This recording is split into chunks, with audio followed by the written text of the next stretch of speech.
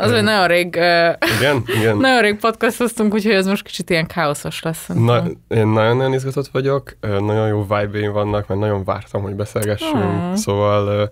Egyébként nem szoktunk beszélgetni, igen, csak igen. amikor beülünk ebbe a stúdióba, úgyhogy... Igen, na konkrétan, de hogy, de hogy így unionikusan így ezen gondolkoztam, amikor jöttem bicikliről, hogy így, szóval, hogy nem csak veled nem szoktam beszélgetni, hanem úgy általában nem marad időm beszélgetni már emberekkel ezekről a témákról, így másról, igen, munkáról persze, fú, rengeteget, de, de ezekről nem, és nagyon örülök, hogy ez újra indul, újra fogom eskü követni az aktuálpolitikát, és szóval most valószínűleg ezzel is lesz egy kicsit ilyen agyhányás ez az első epizód, mert egy csomó minden felgyülem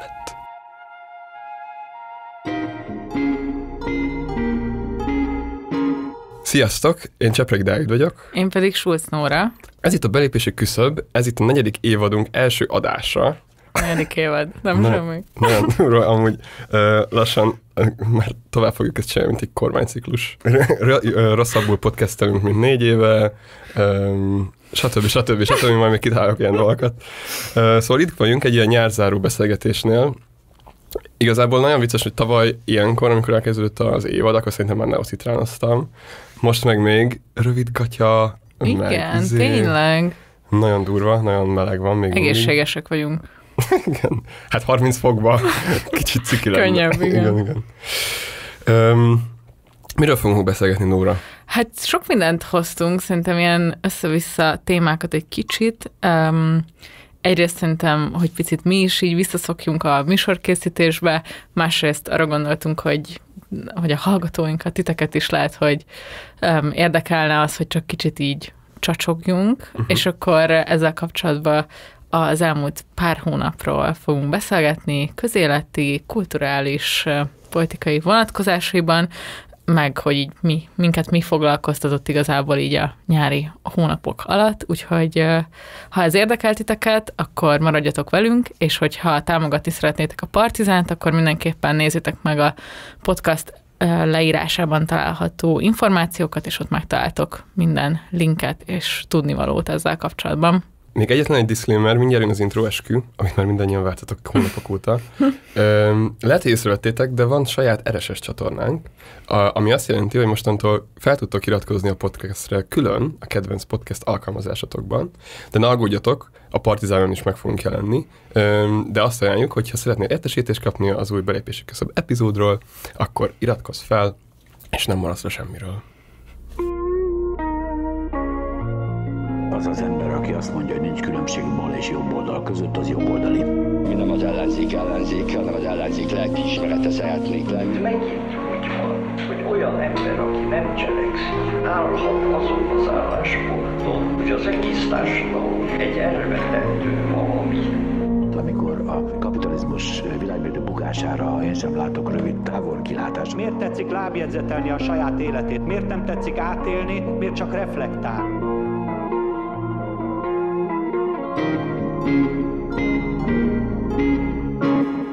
Szerintem beszéljünk egy kicsit arról, hogy hogy vagyunk, meg hogy mik a terveink az évadra, és igazából itt az egyik, amit én el akartam mesélni, az az, hogy visszatérünk arra, hogy két hetente lesz belépési küszöbös tartalom, aminél alapvetően Egyrészt azért is, mert azt gondoljuk, hogy így mi is kicsit rendszeresebben és, és jobban benne maradunk a flowban, másrészt pedig nyilván van egy olyan része is, hogy az algoritmus, meg ahogyan működnek ezek a podcast alkalmazások, szeretnénk, hogyha minél többekhez elérnének ezek a műsorok, ez nem titok, nem azért csináljuk csak, hogy magunkat szórakoztassuk, hanem, no. hanem, hogy, hanem hogy tényleg azokhoz legalábbis, akik szívesen fogyasztanának ilyen típusú tartalmat, ahhoz megnöveljük az esélyét, hogy eljusson. Igen. Úgyhogy két hetente lesz belépési küszöbös tartalom, és ez úgy fog kinézni, hogy mindig az A hét, vagy nem tudom, az, az A adás az valamilyen hosszabb beszélgetés lesz, vagy Dávid és köztem, vagy pedig egy meghívott vendéggel, és rákövetkező két hétre pedig a B hét, vagy nem tudom, az pedig valamilyen rövidebb tartalom lesz, ami nem feltétlenül egy struktúrált beszélgetés, hanem akár a Dávidnak vagy nekem egy tartalomajánlóm, egy, egy felolvasás, egy, egy rövidebb gondolat, úgyhogy, vagy egy rövidebb beszélgetés köztünk, valami kicsit aktuálisabb akár, úgyhogy erre számítsatok majd, és akkor két hetente, ugyanúgy szombatonként reggelente lesz belépési küszöb. És igazából szerintem arról még kicsit ezt mesélsz, Dávid, hogy te milyen érzésekkel, meg gondolatokkal érkezel be ebbe az ősz évadba? Aha, ö, nagyon szívesen. Köszönöm a kérdést. Én nagyon optimista gondolatokkal és érzésekkel érkezem ebbe az évadba. Őszintén, gond, vagy őszintén érzem azt, hogy hiányzott beszélgetni, meg hiányzott az, hogy, hogy különböző területeket feltárjak, akár készülés során, podcastekre, stb. Szóval ez tök jó lesz, és nagyon izgatott vagyok a két hét miatt is. Ugye eleinte, vagy szerintem azt is ebbe vallhatjuk, hogy eleinte azért döntöttünk a három hét mellett, mert hogy az ilyen hosszabb beszélgetésekre kellett egy kicsit több idő felkészülni, megszervezni a vendégekkel, stb. Mm, De most kicsit mobilabban fogjuk fel, vagy mobilisabban, vagy rugalmasabban? Rugalmasabban. Igen, na ez a magyar szó. Igen, az anglicizmusok azok meg itt vannak. Bocsánat. Szóval sokkal rugalmasabban fogjuk ezeket felvenni, és és amúgy nekem az hiányzott korábban, hogy egy-két ilyen aktuális gondolatfoszlányokat megosztuk valahol, mert Facebookra nem nagyon posztoltunk, meg nem indítottunk ilyen, ilyen felületeket, és az, hogy két hetente lesz egy ilyen rövidebb, vagy pontosabban négy hetente lesz egy ilyen rövidebb lehetőség arra, hogy megosszunk egy-két gondolatot, az nekem tökre tetszik, és akkor ezzel, ezekkel az ilyen rövidebb gondolatfoszlányokkal nem kell terhelni az, a, az ilyen fókuszáltabb epizódokat. Na, ezek az ilyen Igen. nagyon technikai dolgok talán, de az, hogy amúgy milyen évet látok magunk előtt, ilyen politikailag, meg társadalmi, mit tudom én, az ettől relatíve független, de ez, arról is fogunk majd beszélni. Összességében, összességében tartalomgyártóként én nagyon örülök, hogy újra itt vagyunk. Igen. És te hogy érzed magad, Nóra? Jól, én is igazából egészen felszabadultam, meg kipihenve érzem magam ahhoz képest, ahol befejeztük az előző évadot, vagy így nyilván ahhoz próbáltam így, vagy abba próbáltam így visszahelyezkedni most, hogy akkor így hogy voltam, meg miben voltunk, és szerintem az így nem titok, hogy, hogy a politikai ö, részvételünk miatt egy ilyen nagyon erős terhelés alatt voltunk igazából februártól június-júliusig, ami gyakorlatilag lefedi a belépési küszöb harmadik évadának nagy részét Igen, igen, is. igen. És uh, ilyen szempontból szerintem ez meg is látszott igaz, talán valamennyire az évadon, de hogy, hogy most azt érzem, hogy sokkal egyrészt tisztább fejjel, meg, meg mentálisan nagyobb terem van újra így akár ilyen kicsit elvontabb kérdésekre is, vagy kevésbé aktuálpolitikával foglalkozni, vagy így több kedvem van kísérletezni azzal, hogy milyen tud lenni egy podcast, vagy ez a podcast, uh-huh. és, és ez ilyen nagyon jó érzés újra így inspiráltnak lenni ezzel kapcsolatban, ami tényleg, ami nem kellene, hogy ennyire függjön attól, hogy, hogy milyen lejárató kampány van um, ellenünk, vagy a baloldal ellen, vagy, vagy ö, az ismerőseink ellen, de de mégiscsak szerintem ezek, ezek a nyilvánosságban való jelenléttel nagyon erősen összefüggnek, és persze ez egy kis nyilvánosság, a belépési küszöb, de mégiscsak azért az, úgyhogy ja, ilyen szempontból én most, most, most egy ilyen kísérletező uh-huh. hangulatban vagyok én is, és igazából az érdekel, hogy hogyan tudunk picit igen, feszegetni mi is így a határainkat, meg megtalálni így új, izgalmasabb vendégeket, tágítani a látókörünket. Szerintem azért az van, hogy van egy bizonyos networkünk, meg gondolatiságunk, amit így három évad alatt valamennyire azt érzem, hogy, hogy így feldolgoztuk. Kimaxoltuk. Igen, Jaj. és hogy most az, az is szerintem a kihívás része most már a, a tartalomgyártásnak, hogy az a, nem tudom, ilyen kapcsolatrendszer, meg tudásanyag, amiből dolgoztunk az előző években, hogy azt hogyan tudjuk uh, újra termelni, vagy újfajta tudást termelni, vagy újfajta kapcsolatokat teremteni ezen a műsoron keresztül, úgyhogy ezek szerintem uh-huh. mind, mind jó lehetőségek. És ja, ezért, ezért lelkesen állok az új küszöbb évadhoz. Amúgy ez, ne, vagy ez valójában az inspirált szót kerestem, igen, Igen. ez nagyon jól leírja. Egy ponton, a harmadik évadban éreztem azt, hogy amúgy ezekről meg gondolkoztunk, vagy Igen. ezekről, tehát nem azt mondom, hogy ismételtünk magunkat, én Á, ez Szerintem- soha. Ne, ne, ne, nem, soha. Főleg nem mondtunk el egy point 50-szer, és mindig. De hogy, de hogy igen, szóval hogy ez az, az, hogy így lefettünk nagyon, vagy azt a közeget, meg azt a gondolatiságot, ami, ami ahonnan jöttünk, azt lefettük, azt tökre éreztem. Ez nem jelenti azt, hogy, hogy így mindent így nagyon-nagyon jól tudunk, vagy hogy mindent nagyon jól átadtunk, hanem szerintem pont az, az, az lesz most az izgalmas, hogy hogyan próbálunk az ilyen mainstream felé kicsit jobban kacsingatni, uh-huh. és a mainstream értelmezésén, meg a mainstream való ilyen kölcsönhatásokon keresztül hogyan tudjuk átvinni ezt a gondolatiságot ö, oda is. Amire Igen. úgy voltak már kísérletek korábban, eh, de inkább így elszórtam. Igen, és szerintem ez is nagyon izgi, meg az a része is, hogy most már szerintem a politikai nihilnek egy olyan mély gödrében vagyunk, hogy ez is ilyen felszabadítóan hat. Tehát, hogy... ö, Már mint a, már mint a, a mi. Ja, Ma, hát úgy, én azt hiszem, hogy a magyar, nem tudom, közbeszéd politikai szereplők tekintetében Ja, én egy olyan szintű lemondást és elengedést látok, ami Ja, hogy a nihil felszabadít. igen, igen. Ja, értem, értem. Érted, tehát, hogy az, Igen, hogy, igen. hogy a 22-es választások előtt mondjuk ott, Igen. ott még kampány hangulatban van az ember, Ja, vagy az elmúlt fél évben, ugye amiről beszéltem, hogy az ott más szempontból politikai nyomás, és ezért politikai keretben ja.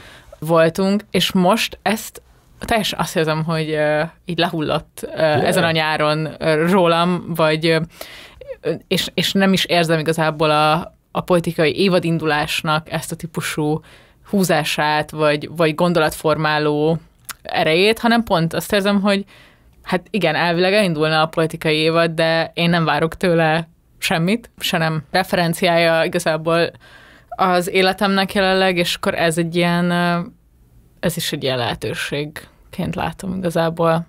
Amúgy igen, ezt én is érzem, hogy így nem érdekel. Vagy, na jó, nem az, hogy nem érdekel, hanem hogy, hogy el, el lehet tőle rugaszkodni. És amúgy azt mondtad, hogy, hogy ez egy kicsi nyilvánosság, alapvetően így el kéne magunktól távolítani az ilyen támadásokat, de szerintem nem, tehát nem szabad lebecsülni, hogy mi volt itt abban a néhány hónapban. Azért az ilyen Igen. mind személyesen ilyen szintű támadásokat szerintem ez a, ezek az emberek, akik ebben a közegben vannak, így nem éltek még meg, mint politikailag azért ez egy kemény mérföldkő volt szerintem, vagy így direkt keresgéltem, hogy hogy milyen lejárató kampányok voltak még az utóbbi néhány évben, és persze voltak, de, de az, hogy így ennyire összegyűjjön minden undorító dolga az ilyen alt-right, vagy új jobb oldalnak, az tök eh, precedens nélkül, szóval Igen. Szóval az, hogy ezen végigmentünk, azt szerintem így azt is sikerült ö, ö, sublimálnunk, ahogy mondják, hogy így ebb- szerintem tökre erősödött belőle sok ember, meg mi is. Igen, és szerintem még egy ilyen izgalmas dolog, ami nem feltétlenül függ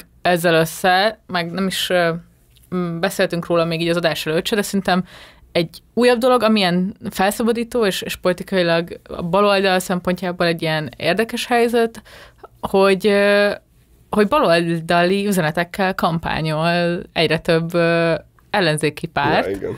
ugye, amikor még csak nem tudom, Botka László mondta, vagy a Szikra mozgalom, hogy fizessenek a gazdagok, most már Gyurcsány Ferenc, mint a legnagyobb ellenzéki párt vezetője használja ezt az üzenetet. Lakhatási konferencián Donát Anna TGM idézettel, és a és alapvetően baloldali öm, szociális, nem tudom, programokat képviselő szervezeteknek a, a reprezentánsaival szerepel.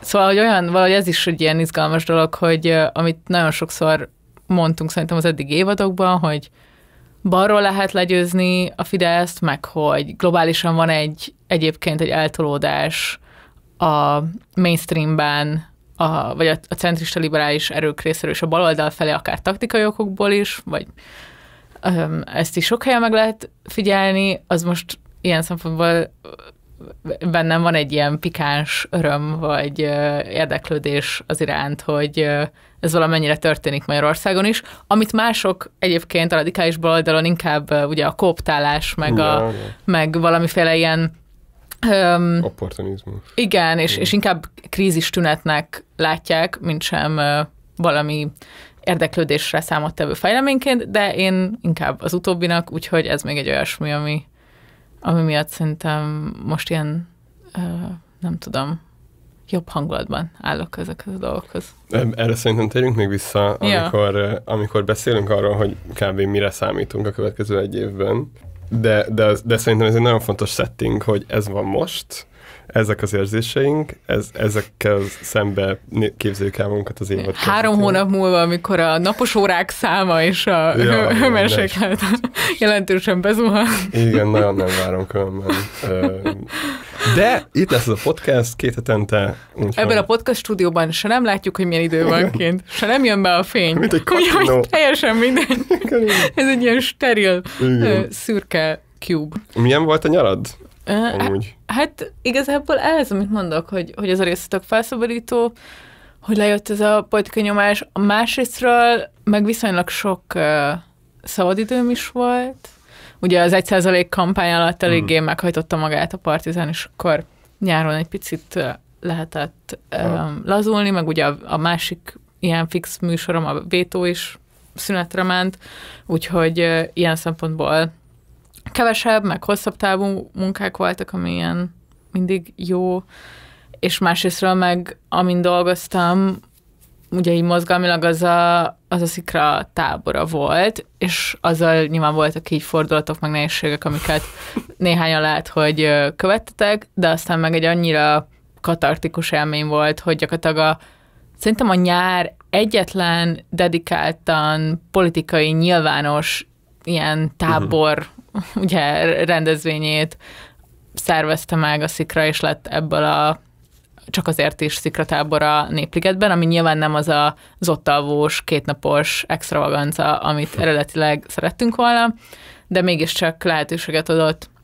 Egyrészt szerintem ilyen um, arra is, hogy, hogy az ellenzéki, nem tudom, közönségnek egy része találkozzon, meg a képviselői um, beszámoljanak arról, hogy hova jutottak egy-másfél Ja, ja. év alatt.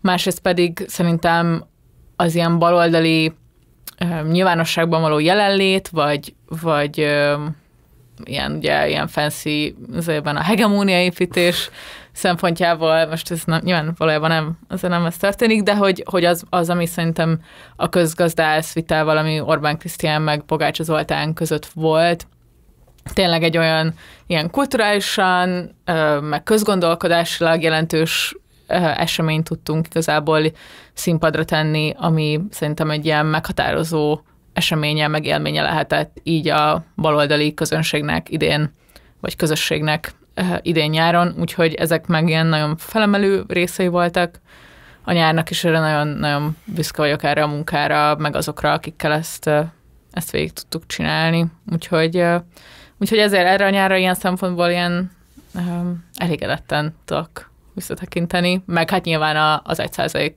kampánynak is a, ugye most jött meg igazából nyár végén, szeptember közepén a, az eredménye, és az is a, a, az egész nyáron nyilván izgult az ember, hogy, hogy mi lesz belőle, és annyira egy ilyen euforikus lezárása ennek a, az időszaknak, meg egy bemutatása annak, hogy így a közösségi um, utcai kampányoknak, meg digitális kampányoknak milyen ereje van, és hogy a baloldali intézmények mögött is milyen sokan tudnak állni.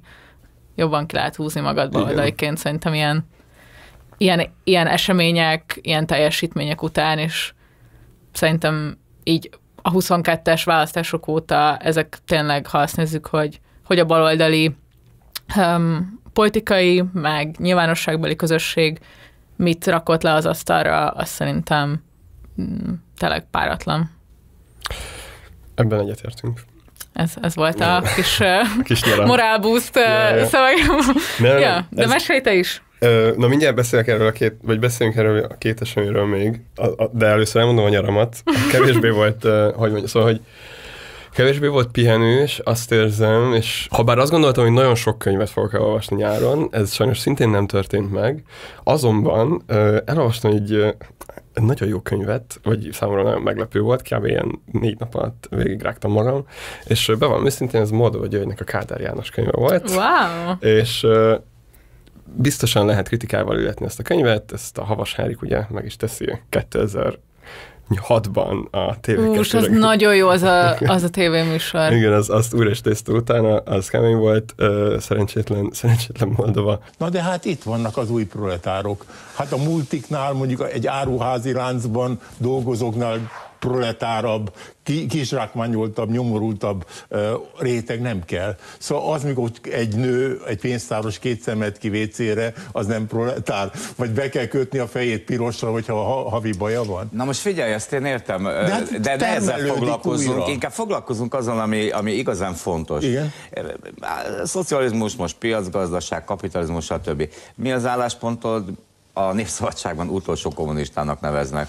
Hát a Rab azt írja, hogy az utolsó előtti Kádár volt, annak az hát ez, utolsó. ez, ez a sorrend nagyon megtisztelő. Jó, figyelj, mi a, mi a véleményed a tulajdonosokról?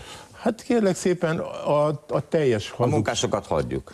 Miért, miért hagyjuk? Azért, mert arról, arról, arról Mert azért nem tudsz itt mondani róluk. Egyszerűen azért, mert a nyomor fokozódik, és egyszerűen kenni erre a sajtó, és kenni. Hát három millió koldus országa lett megint az ország. Hát nem titok, és megy lefelé. Mindegy, e, e, semmi, tudok semmiben nem értek egyet azzal, amit mondtál, de Nagyon helyes. lehetőséget nagyon, adtam arra, hogy elmond. Röstelném, röstelném, úgyhogy... Szavaz. De mindegy, jól kijött a szituból, szóval, hogy biztosan lehet kritikával illetni a könyvet, azt szerintem nem kell elmagyaráznunk, hogy mennyire kritikával kell illetni a létezett szocializmust, de maga a Moldovának az érzékletes ilyen életrajz leírása szerintem vitathatatlanul szuper, és jó élmény volt, és kicsit megint kihozott az ilyen, tehát hogy sikerült azáltal így megint így szélesíteni a fókuszt, és és így azon gondolkozni, hogy nagyon sokat foglalkoztam, meg nagyon sokáig foglalkoztam ilyen mozgalmi történetekkel, meg ez így mindig nagyon inspirált, és ilyen ott azon vettem magam észre, hogy így tök inspiráló megint arról olvasni, hogy a, hogy az, hogy a 20-as években, 30-as években milyen, milyen messzeségekig mentek el emberek azért, hogy olyan dolgokért küzdenek, ami számukra fontos, és ez most tényleg nem egy Kádár mosatás akar lenni, meg nem is feltétlenül a Kádárról van szó, hanem arról, hogy Moldova amúgy mindenfajta ilyen uh, oral history, tehát ilyen uh, interjúkon, meg uh, iratokon keresztül bemutatja azt a közeget, és, uh, és csak hogy beszéljünk arról, hogy, vagy hogy csak hogy ide kössem kicsit, tehát tényleg a lejárató kampány néhány hónapja azért eléggé sokat uh, tolt abba a szituáció, hogy azon gondolkozom, hogy meg, milyen tétjei vannak a politikai cselekvésnek. Ma Magyarországon, erről különben Ján Andrással beszélgettünk itt talán a legfókuszáltabban, amikor itt volt az előző évadban, és és hogy, számom, és, hogy, és hogy ezek a szituációk, a történelem bizonyos szituációi, eh, ahol adott esetben embereknek tényleg illegalitásba kell vonulniuk, meg kell tagadniuk barátokat, családokat, stb. elgondolkoztatnak az, a, a, abban, hogy, hogy emberek bizonyos szituációkban meddig képesek elmenni, és közben pedig az, a, a, abban is, hogy manapság különben ez egyáltalán reális, és azt gondolom, hogy nagyon nem, és, hogy, és közben, viszont közben inspirál arra, hogy gondolkozzunk másfajta módokon, amivel ezt a fajta um, elköteleződést uh, el lehet érni, vagy embereket különböző szinteken be lehet vonni. Na, Kádár könyvtől egészen a izéig, szóval, hogy uh, nekem kicsit ez, ez, ez, ezzel telt a nyaram, uh, meg még felírtam magamnak valamit, uh, amit talán kicsit egy ponton viccesebb. Uh, nem, nem, nem írtam fel más viccet. Spontán nem tudunk viccesek lenni, nem tudom, tudtátok de így megszkriptáljuk az összes adást. Nem, nem, És a Dávid viccei külön kiválogatjuk Van egy- minden adás előtt. Igen, meg van, van, van egy stáb, aki ilyen, Saturday Night Live-ban.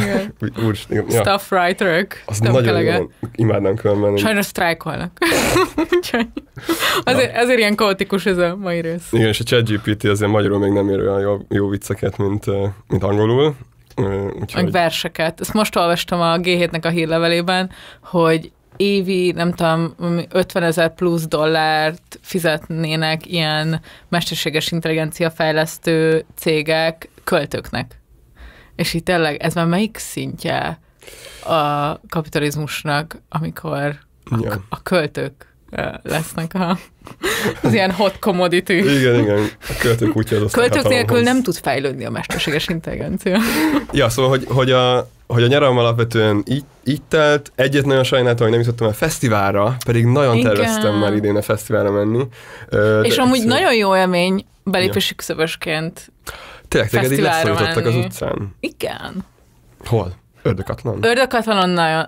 Egyébként Ördökatlanon ismertek föl valaha először a podcast miatt, és idén is nagyon jó élményem volt, ketten is odajöttek ilyen beszélgetésre, hogy Mizu a podcasttal, meg mit tudom én, és amúgy az ilyen tök jó élmény, hogy nem csak annyi van, hogy így Um, vagy, a, vagy szerintem ez mondjuk lehet, hogy a katlannak is a sajátossága, de hogy nem csak így rád izelnek, Yeah. kiabálnak, vagy nem tudom, hanem, De- igen, hanem így tök jó beszélgetéseket Igen. lehet kezdeni így emberekkel, és ja, volt egy, igen, igazából, igen, többen is voltak. Na mindegy, és, és most nem akarok elsztorizgatni őket, de igazából ez a része, meg az, hogyha hallják véletlenül, akkor tökre köszi meg, meg ezek ilyen jó élmények, meg a nyilvánosságnak az az oldala, ami valójában abban segít, hogy emberekkel, akikkel sose ismerném meg Igen. őket, vagy találkoznánk, arra egy ilyen eszköz, és ez tök jó érzés. Úgyhogy jövőre fesztiválozzunk, Dávid. Mindenképp. Hát, hogyha nem szervezitek rá megint a szikratábort a fekete zajra, akkor ott Ali, hogyha igen, akkor... Meg Katlanra menjünk, ez tök jó lenne. Jó, hát de azok ilyen költők vannak, meg nem tudom. Hol vannak Lehet, hogy jövőre már nem lesznek ott a költők, mert mind, a- mind elutaztak San Franciscóba.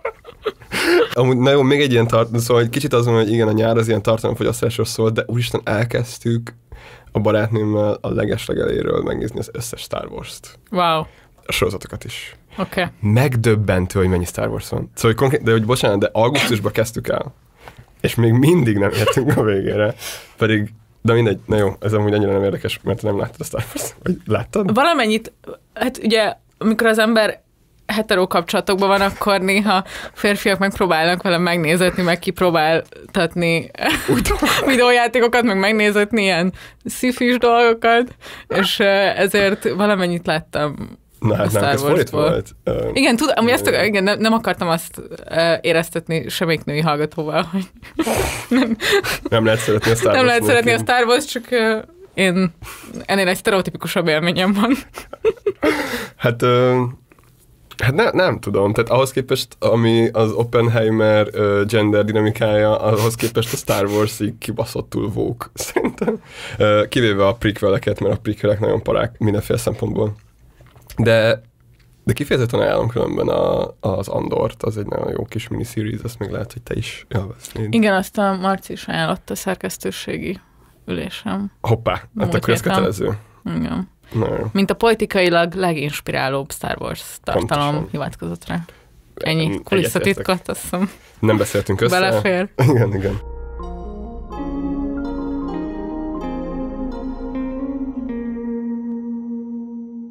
De még ezekről mesélj, Dávid, hogy neked volt-e olyan bulvárhír, olyan politikai történés, amit uh, kiemelnél? Jaj, de jó, jó emlékezhető, bocs, igen. Szóval, hogy um, amihez nagyon szeretnék kapcsolódni, az a szikratábor és az 1% kampány is. A szikratábor olyan szempontból, hogy én sem voltam felkészülve arra, hogy így mekkora társadalmi támogatottságot fog élvezni a szikra, amikor kiderül ez a hír. Amikor kiderült, hogy nem lehet oda menni táborozni, és így beszélgettünk arról, hogy mit lehet csinálni, akkor tök szkeptikus, voltam azzal kapcsolatban, hogy hát emberek most meg fogják finanszírozni azt, hogy Ú, mások én nagyon tudtam. De, de, na igen, de aztán, amikor ö, arra jutottunk, hogy ez egy nyilvános dolog lesz, akkor, akkor lett a píkje ennek az egésznek, és szerintem az volt a legnagyobb megerősítés ö, a követőink számára és a támogatóink számára is, hogy, hogy fogtuk ezt a lehetőséget, fogtuk ezt a támogatást, és egy tök könnyen elérhető dolgot csináltunk mindenkinek. Igen, Szóval- ingyenesen. Igen, szóval, hogy szerintem, szerint, én, én nekem nagyon jó élmény volt, nagyon szívesen áldoztam rá a szabadságaim utolsó napját, Öm, és, és egyszerűen tényleg az, hogy egyre nem voltam felkészülve egyáltalán, hogy, hogy ekkora vissza, vagy ilyen, ilyen pozitív visszacsatoláskor fogunk kapni rengeteg embertől. És hogy emberek a saját pénzüket áldozzák arra, hogy kifejezzék azt, hogy ilyet nem lehet csinálni. Az meg. Úgyhogy majd megcsináljuk magunknak. Igen, mondjuk ebben szerintem tényleg van egy olyan, hogy, hogy ezt már több ellenzéki közösséggel megpróbálták, és valahogy ezt is, vagy én ezért is mondom azt, hogy tudtam, vagy sejtettem Ja, azt, ja. hogy, hogy ez, ez ülni fog, Ja. hogy, hogy csak azért is um, legyen ez a tábor, mert, mert hogy ezt már eljátszották, ugye szerintem leghíresebb talán egy a Momentum esete, de hogy egyszerűen így más. Egyszerűen ez egy, ez egy olyan típusú élmény az, hogy már a szolgáltató szektorban is így ennyire befolyással van az, hogy milyen politikai félelmei, szorongásai vannak embereknek, nem is feltétlenül maguk a konkrét következmények, hanem, hanem ezek a fantáziák, ami szerintem sokan tapasztalnak, és ezért van egy ilyen nagyon erős szolidaritásképző ereje. Igen, igen, és, ez, és nagyon örülök, hogy ez a szikrán körül is érvényes.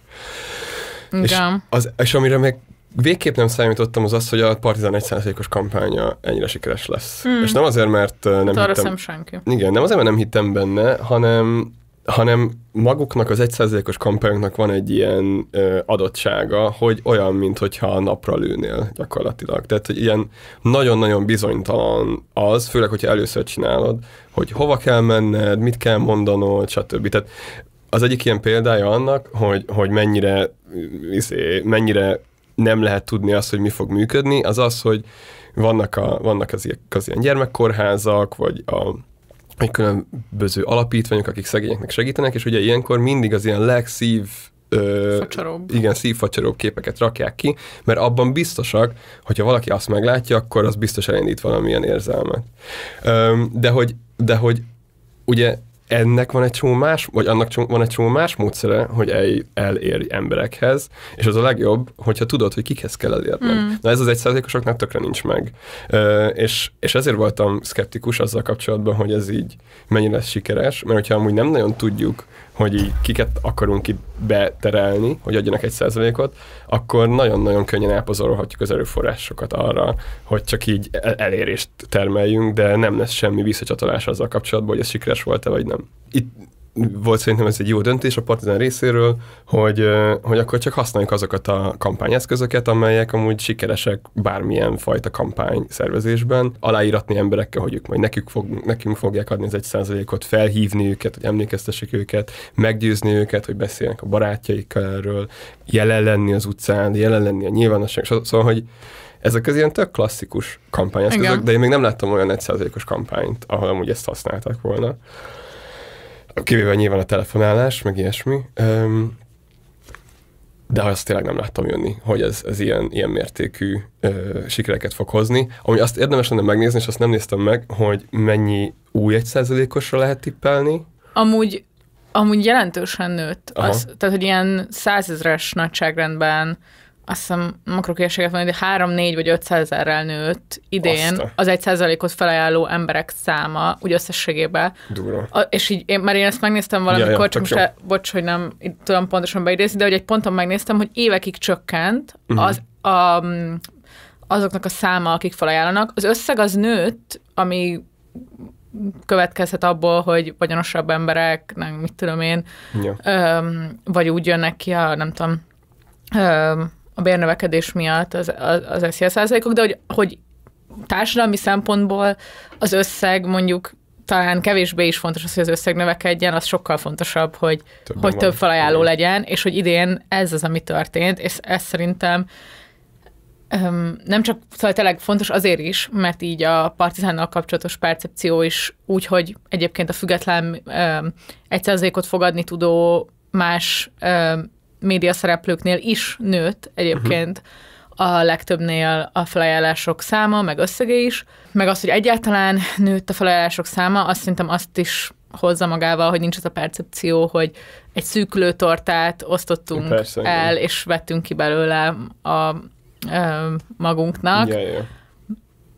Ez, ez is szerintem azért fontos. Nagyon, másrészt, igen, igen. igen, másrészt meg, meg van az a része, hogy hogy ö, azt nagyon sokszor elmondtuk szerintem az ilyen egyszerzékos műsorokban is, ami volt olyan, amit szerkesztettem, meg, ö, meg amikor call centereztünk is, szerintem te is, meg én is mindig elmondtuk, hogy ha, nem, ha már föle, mert az Ja, utolsó hetekben már volt, aki mondta, hogy másnak ajánlott, vagy ilyesmi, vagy hogy, ja, hogy azt mindig nagyon sokszor elmondtuk, hogy a lényeg az, hogy így felajánld, és hogy ennek alapvetően az az ilyen tényleg szerintem társadalmi üzenete van, hogy amiről tudunk demokratikusan döntést hozni forrásról, ami Magyarországon jelenleg néhány ö, helyi település ilyen közösségi költségvetési dolgán túl, igazából az egy százalékos dolgok, akkor azzal így éljünk, és hogy ezt a fajta ilyen társadalmi részvételt növelni, még akkor is, hogyha civil szervezetei a szélső jobb oldalnak is vannak, és Van. önmagában az, hogy sok a felajánló,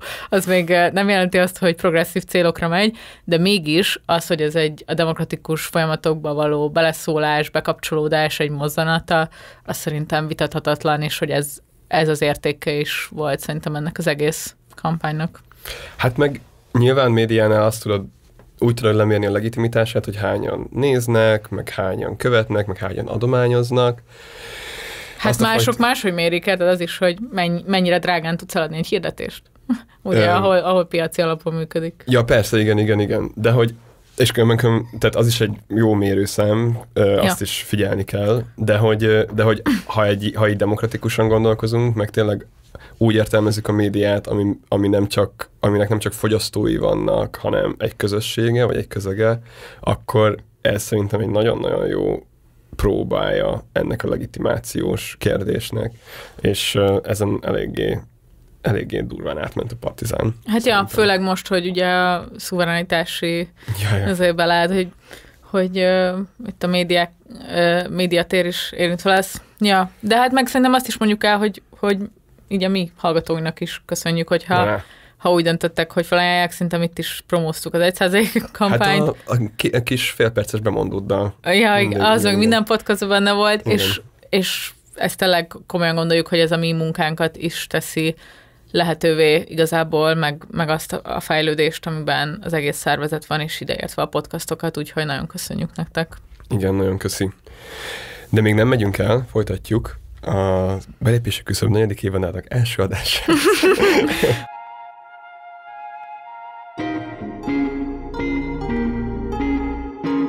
Most áttérnénk kicsit talán egy ilyen politikai, uh-huh. uh, aktuál politikai, jövőbe tekintő, előre néző. Meg mik, mik foglalkoztatnak? Hát nem a politika haver. Hát, ez, hát igen. Ne, ne, ne. Na igen, de hogy, de hogy miért nem? Szóval, hogy kicsit azért, amit mondtál az elején az egész beszélgetésnek, hogy szóval én alapvetően azért is csinálom a szikrát, meg azért is csinálom, kezdem, csinálom ezeket az ilyen balos cuccokat, mert ö, nagyon kiábrándított az aktuál Ez politika, egy ruhamárka. balsors. Ö, Szóval igen, meg néha azért is érzem azt, hogy el tudok veszni az elméletben, meg a történelemben különben, mert hogy nagyon nem köt le az aktuál politika. Mm. Öm, na és ilyen szempontból ez nem változott. Ja. Ö, ugyanakkor, ugyanakkor sokkal inkább ö, élvezem az ilyen bulvár híreket mm. az ellenzékben, mert tényleg nem csak az ellenzékben, hanem az aktuál politikában, mert egyre abszurdabbnak érzem, vagy élem meg ezeket. Amúgy tegnap beszélgettünk a parlamenti évadindító ö, viccesebb pillanatairól, és ö, Bocsánat. Sors. És, és, és a legviccesebb, igazából ez csak ma jutott el hozzám, a Szilárd mutatta, hogy a propaganda felületeken szegény Gelencsér Ferencet, hogy meghurcolják, amiért mikor leült a napirend előttie után, akkor így mondta, hogy hú, ezt jól elrontottam. Ne. És annyira megsajnáltam szegény. Tényleg így remegett a kezébe a papír, meg nem tudom, és így leült, és mondta, hogy hú, bazd meg, ezt jól elrontottam. Istenem szegény, nincs semmi tétje nincs. Most csak, csak még akartam mesélni, mert tegnap végigvettük az ilyen Nem, nem, csak pillanatokat, és ez kimaradt. szegény Gelencsének így éreznie kellene, hogy minek van tétje és minek nincs. Öm, szerintem senki nem... Se, szóval, hogyha nem mondtam Azért volna- durva lehet Orbán Viktort Amúgy igen. napirend előtt kérdezni. Amúgy igen. Ma pont, pont, pont azon a napon vagyunk, amikor a Cinkúci Sándor Ja. a Ferencvárosi Grafika kocsma előtt így leszólította Orbán Viktort, aki éppen póló ingben Az járkált. ott van. Igen, igen, igen. Ott van a, a Néru part Ja, mellett. tényleg? Igen. Tényleg. Egyes ismerőseim szerint a grafikába jár, mások szerint a Jollyba. Na igen, és hogy azért az, hogy a Cinkóci ott így üvöltözik, szó szerint üvöltözik az Orbánnal, meg a biztonsági őreivel, az, azt a fajta bőrt én néha kívánom a képemre. Kell egy lélek jelenlét hozzá, Igen, az biztos. Ja.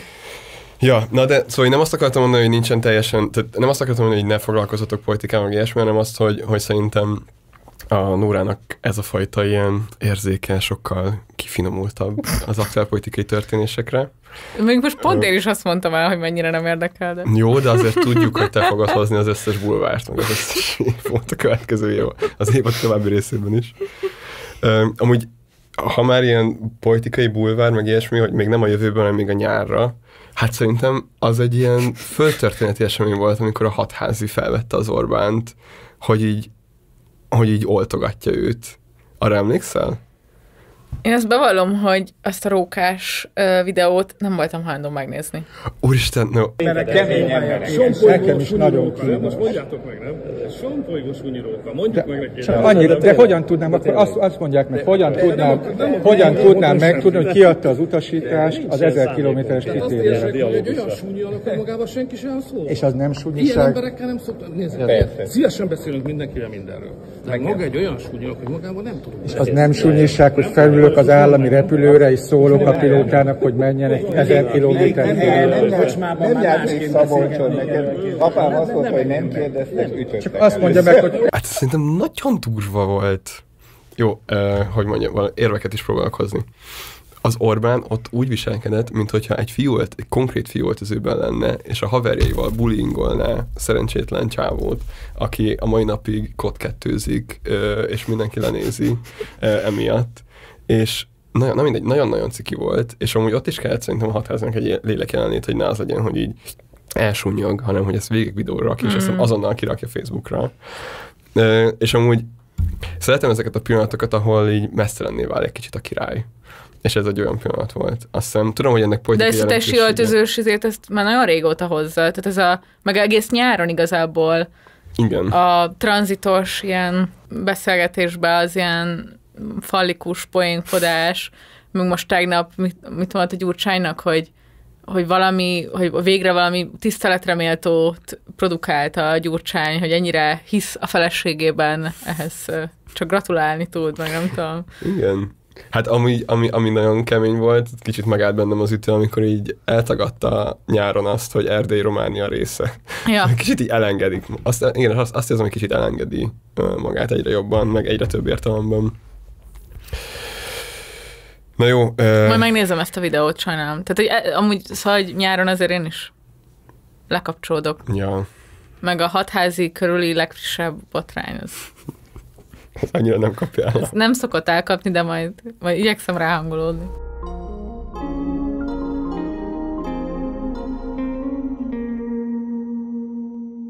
Na és akkor kicsit beszélgessünk még talán fókuszáltabban arról, hogy amúgy miről szoktunk agyalni mostanában, vagy miken pörgünk mostanában, vagy van még valami ilyen fiatalos szó?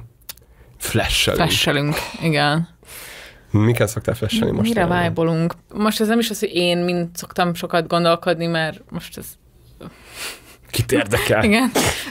De hogy, hogy vannak olyan témák, amiket körülöttem gyakran felhoznak emberek, vagy amikkel kapcsolatban úgy éreztem, hogy álláspontot kell Uh-huh. kialakítani.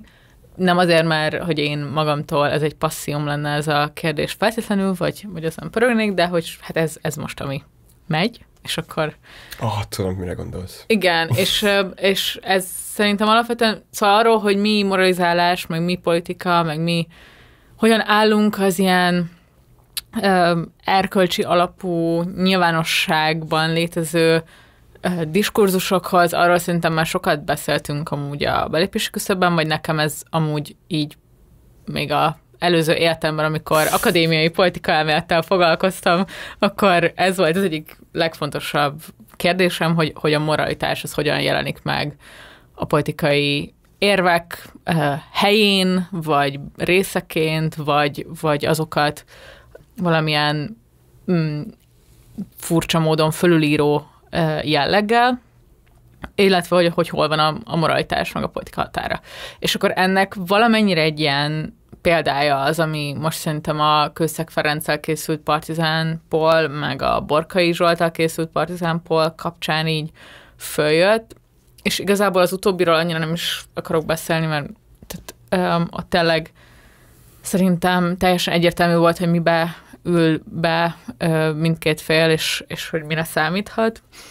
De a kőszegesnél szerintem valamennyi mm, érdekesség van abban, hogy ebből miért lett ekkora ügy, és amit szerintem egy érdekes dolog, hogy az ilyen baloldali, baloldaliság, meg liberalizmus körötti határokat szerintem régebben, szerintem nem annyira, de én biztos, hogy én nagyon erősen szoktam Védel, védeni? igen, vagy legalábbis azt, gond, azt, azt éreztetni magammal, meg másokkal, hogy ez egy fontos ja. uh, dolog. Meg, Ez egy domb, amin meg fogsz halni. Így van, igen. Um, az, hogy, az, hogy hogy például a moralitáshoz és a politikához másképp áll szerintem egy alapvetően a történelem re, meg a társadalmi csoportokra, meg változáselméletre, vagy más változáselmélettel működő baloldali ember, meg egy, meg egy liberális.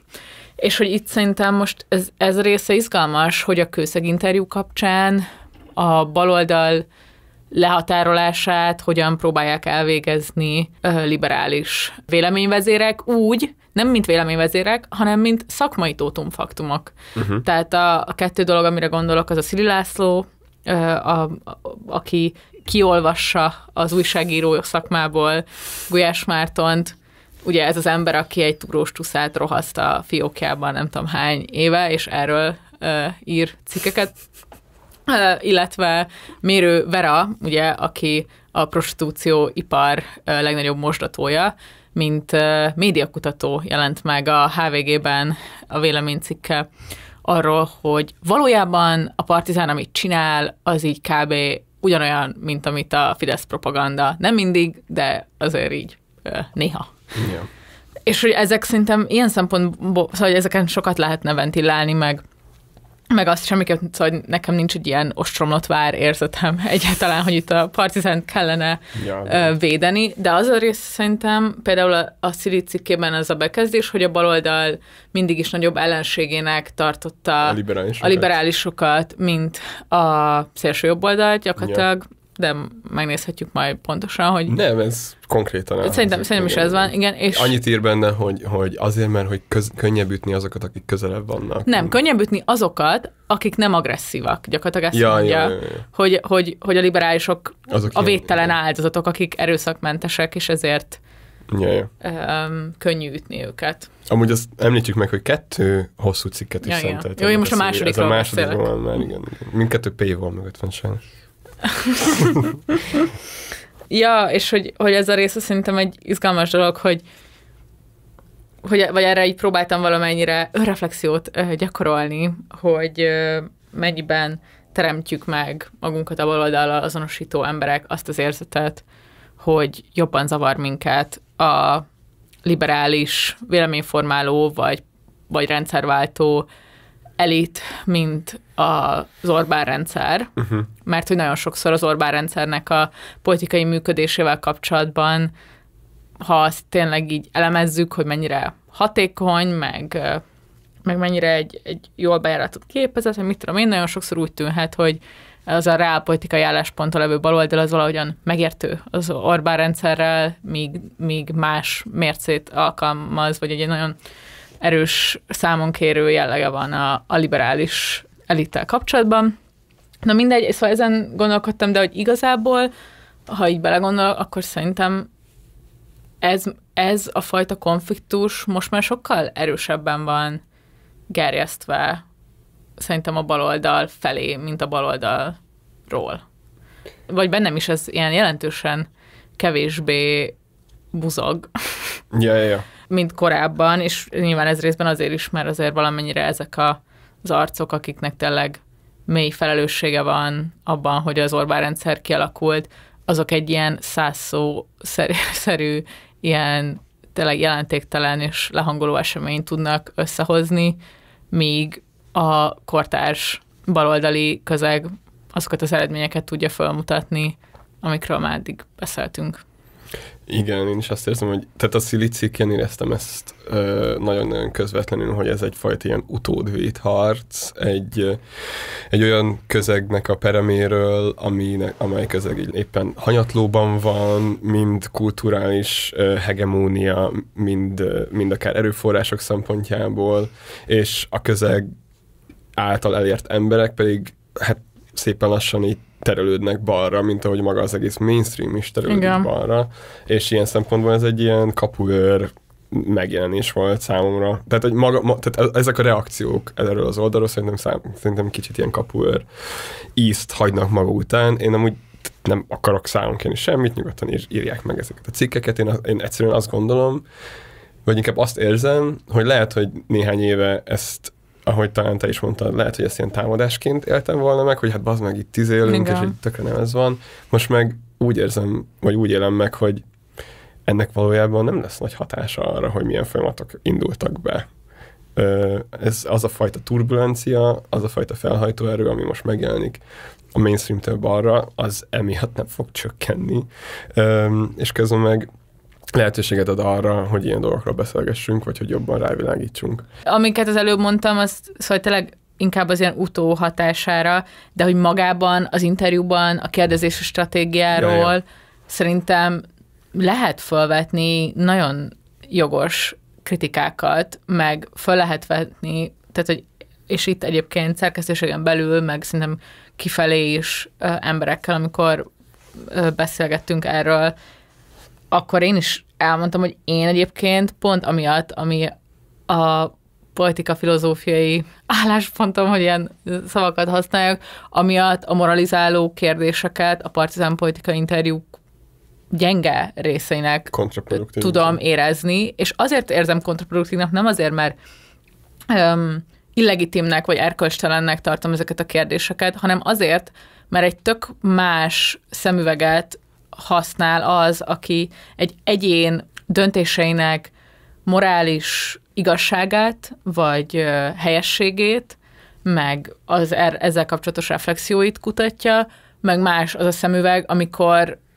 mondjuk például egy, um, nem tudom, 90x éves emberen keresztül próbáljuk megérteni, hogy a post 68-as liberális értelmiség miért működtetett olyan szexuális gyakorlatokat, amiket a mai baloldali fiatal közeg szexuális, morális erkölcse az alapvetően vállalhatatlannak tart, és hogy ez, ez, ez a, mondjuk például ebben a témában fölmerül-e, hogy ez egy kitekintés, hogy ez egy nemzetközi tendencia, hogy, ja. hogy a balliberális értelmiség ikonjai azok, mint Michel Foucault, meg Simone de Beauvoir, meg Sartre, Sartre akár a tanárdiák kapcsolatokat hogyan gondolták, hogyan működtették átszexualizálva, akár egyébként fiataloknak a szexualizálását mennyire tartották elfogadhatónak, vagy, vagy pont uh, ilyen progresszíven tabu döntögetőnek akár. És hogy, hogy kinyitjuk-e ezeket a perspektívákat, vagy abban, vagy bele, és, és akkor viszont tud egy értékes, akár ideológiai vita is lenni, vagy generációs töréseket megmutató dolog lenni, meg a kőszegnél tágabbra nyitja a perspektívánkat, és ránézhetünk arra, hogy ez hogy működött a, a rendszerváltóban liberális értelmiségnél, vagy pedig beragadunk abba, hogy itt egy ember van túráztatva, vagy sem. Szerintem nem volt túráztatva, de hogy hogy mégiscsak, hogy, és egyébként, és hogy ezzel kapcsolatban szerintem van egy általánosabb dolog, hogy viszont ezt nagyon nehéz megértetni sokszor az alanyokkal is. Most nem azt mondom, hogy a kőszeg nem értette volna, de nagyon sokszor látom azt, hogy amikor valamilyen mondjuk politikai szereplővel uh-huh. próbál arról beszélni a Marci, hogy de miért nem viselkedtél úgy, miért nem csináltad jobban a, a szervezetépítést, vagy miért nem ö, álltál bele ebbe politikailag, vagy miért hoztad azt a, azt a stratégiai döntést, akkor az, azokra így nagyon nehéz ráhangolódni, és a nézőket is szerintem valamennyire ledobja, mert sokkal inkább prevalens az ilyen erkölcsi uh-huh. beszédmód az életünkkel kapcsolatban. Tehát azt, hogy, az, hogy taktikákról, stratégiákról, döntésekről, érdekekről, tört, marxista értelemben történelemről beszélgessünk, az egy sokkal szűkebb, nem tudom, értelmezési keret sokaknak, mint, mint, mint a morális, vagy sokkal nehezebben hozzáférhető, és szerintem ez, ez az ellentmondás, ez valamennyire feszíti ezt a műsorformátumot. Ennyi a... Szerintem ez egy kerek, kerek ték. Én, nekem a... Mennyire volt hot? a langyó. Hát ez most... egy langyos ték, szerintem. nem, nem, nem, szerintem ez nem feszített a, a közvéleményt. Én hozzám úgy is eljutott, hogy hogy még nem láttam azt, vagy addig, addig még nem jutottam el az, az interjúban, sőt, igazából az jutott el, pedig az első fele az interjúnak én, számomra én végtelen izgalmasan, hogy Igen. a közleg arról mesél, hogy ott volt a rajknak az újratemetésén, esett az eső, szóval, hogy nekem, ad, és, és ezt akartam valamennyire mondani, hogy így nekem azért van az ilyen demokratikus ellenzékkel, meg a liberális, vagy a liberális közeggel szemben talán egy ilyen fokkal megértőbb, ö, nem tudom, ö, attitűdöm, mert hogy én tényleg hiszem azt, hogy, a, hogy az adott létezett szocialista rendszerben amúgy ők voltak az a fajta baloldali ö, ellenzék, akik képesek voltak megszervezni magukat, és, és hogy ez viszont járt azzal is, hogy, hogy Magyarországon ők voltak azok az emberek, akiket most liberálisaknak hívunk, akik a nyugaton, hogy Nóra is mondta, alapvetően a baloldalhoz ö, tartoztak. Most az nem, nem kell, hogy marxisták legyenek, posztstrukturalisták, meg mindenfajta ilyen eszeveszett abstrakciókban hívő emberek, akik szemben nekem is megvan a kritikám, de hogy mégis egy, azt a fajta hagyományt érdemes ismerni, és a, talán a Fehér Renátónak az írásai azok, amik, amik amik tök jól rávilágítanak arra, hogy milyen ellentmondások feszítették ezt a közeget az eredeti hagyományaikhoz képest, hogyan nézett ki ez az egész egy olyan rendszerben, ami önmagát szocialistának hívta, stb. stb. Na de visszatérve, hogy szerintem, vagy számomra nem is az egész ilyen moralizálás ö, dolog volt az, ami elkapta a figyelmemet, vagy ami aztán elkezdtem igazán gondolkozni, hanem az, hogy nagyon ö, ö, nem, ilyen, ilyen, ilyen oda nem illő volt ez, ez az egész ö, ö, téma. Olyan értelemben, hogy, hogy a Marci próbált aktuálpolitikai jelentőséget ö, tulajdonítani annak, amit a kőszeg állít. El tudom képzelni, hogy éppen azért, mert ennek van amúgy, tehát ennek a témának van aktuálpolitikai relevanciája, de annak azt szerintem egy ilyen félreértés, hogy, hogy annak lenne aktuálpolitikai relevanciája ebben a témában, vagy ebben a törésvonalban jelenleg, amit a kőszeg gondol. Hmm. Mert szerintem nincs. És szerintem igazából e- ez az ilyen alapfélreértés, ami miatt ez a rengeteg feszültség jött ezzel a konkrét ügyel kapcsolatban. Egy dolog, ami nagyon meglepett, az, hogy a Helsinki elhatárolódik a kőszektől. És ez pont ez, Tudom, hogy hogy, ettől lett a shitstorm. tehát ez, ez tehát önmaga, tehát az, hogyha így tényleg, tehát, és szerintem ezzel nagyon nehéz vitatkozni, hogy ennek nem nagyon van aktuálpolitikai relevancia, és amúgy szerintem tényleg a Marci ezt, ebben hibázott, hogy ezt megpróbált ennyire felemelni, de hogy ezt a hibát nem látni, és azonnal pánikszerűen reagálni rá, és így mindenképpen mozdatni magunkat, ez szerintem egy tök nagy ö, félrelépés volt, és Ja, hát ezt szerintem nem látjuk át, hogy Igen. mi zajlott az interjú felvétele publikálása ja, ja. között, és közvetlen utána, és ezek de közben valamennyire jól, vagy hogy, hogy annak ellenére, hogy nem nagyon, nem, nem ismerem az empirikus dolgokat, de hogy elég jól megmutatja, hogy mennyire paranoid a magyar közélet, Mm. és hogy abban az esetben, hogyha egy bármilyen jellegű billog, ami éppen egy gyűlölet kampánynak az egyik része rákerülhet, akkor, akkor azonnal megpróbálnak az emberek ö, kiátrálni belőle, vagy, vagy egy ilyen pótcselekvésként védekezni.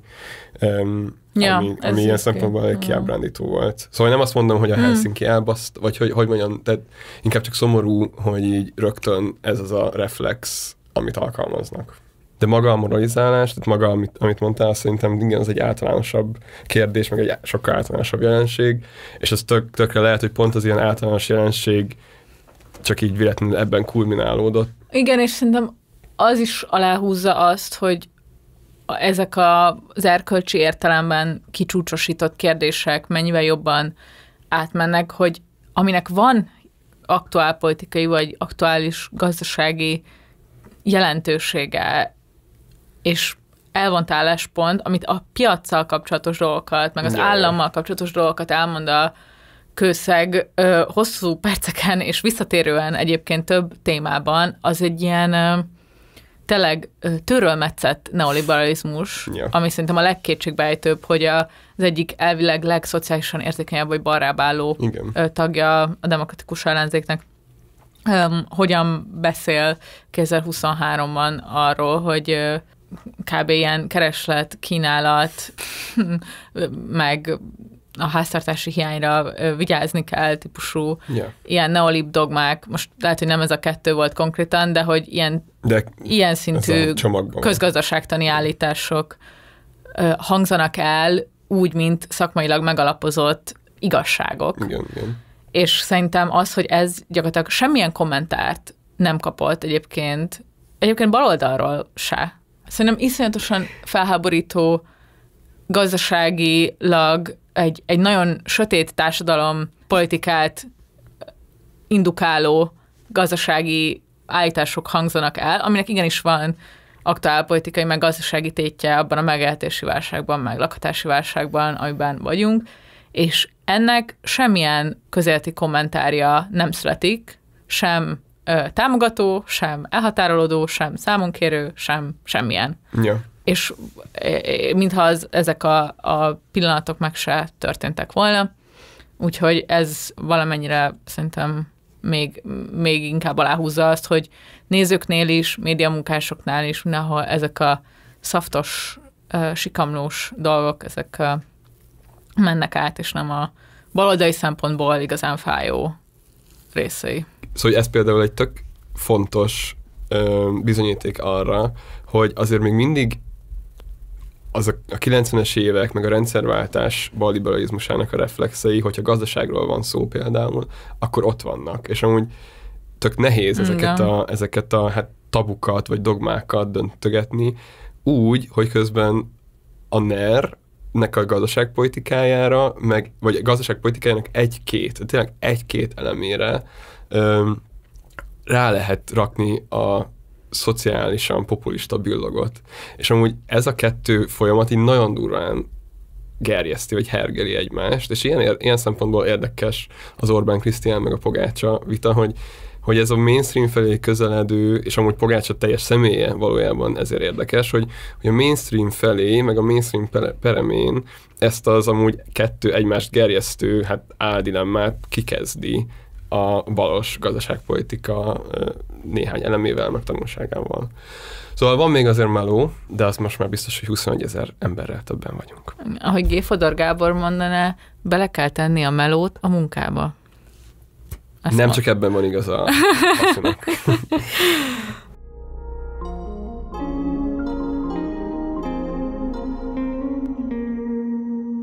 Jó, hát szerintem végül is ö, akkor mi is beletapicskoltunk ebbe a Igen.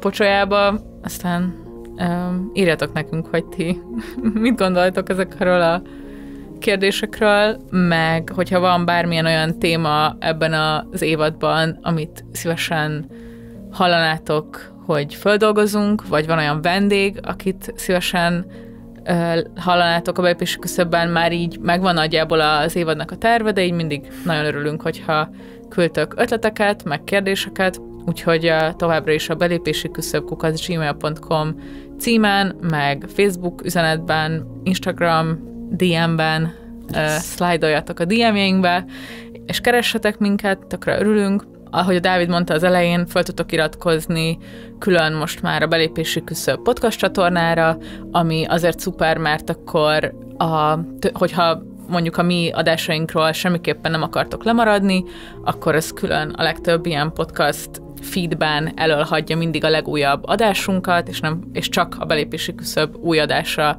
írja majd fölül, úgyhogy most, hogy egy ekkora ilyen podcast birodalom ö, részévé váltunk a, Bal, baloldali média. körülöttünk kinőtt így az elmúlt négy évben, arra gondoltunk, hogy ezzel a belépési küszöb hallgatását, fogyasztását kicsit megkönnyítjük nektek, úgyhogy, úgyhogy ezt használjátok.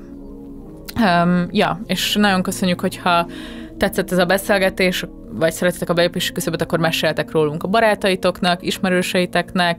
Van több tucat régebbi adásunk, amik közül biztosan találtok olyat, amit esetleg tudtok ajánlani a különböző érdeklődésű ismerőseiteknek, úgyhogy ezt is nagyon megköszönjük, hogyha ezzel segítetek nekünk. Meg amúgy lehet, hogy észrevettétek már, de akkor már régen vége volt az előző évadunknak, amikor ez történt, de most már elérhető minden epizódunk YouTube-on is. Wow, tényleg? Igen, ami egy régi kérés. Én is nagyon sok-. Igen, igen, nagyon sok hallgatónak régi kérése. Szóval ott is egyrészt vissza tudjátok hallgatni, másrészt biztos van egy csomó ismerősötök, aki amúgy nem hallgat, vagy nem ilyen podcast ö, motorokon hallgatja ezek a dolgokat, hanem inkább YouTube-ot szokott nézni. Szóval tegyetek meg és küldjetek el három ismerősötöknek. Videó nincs hozzá, nyugi. Igen, igen. Amúgy az majd a következő lépés lesz, hogy lássatok is minket, miközben itt hadobálunk a kezeinkkel, ö, meg ilyesmi. De szerintem, ö, ja, de hogy a lényeg, hogy csekkoljátok le, Partizán csatornán ott megtaláltok mindent, és a többi podcastet is különben ö, meg tudjátok most már ott hallgatni. És hát találkozunk két hét múlva. Találkozunk megint. két hét múlva. Egy rövidebb beköszönéssel. Így van. Vigyázzatok magatokra, sziasztok! Sziasztok!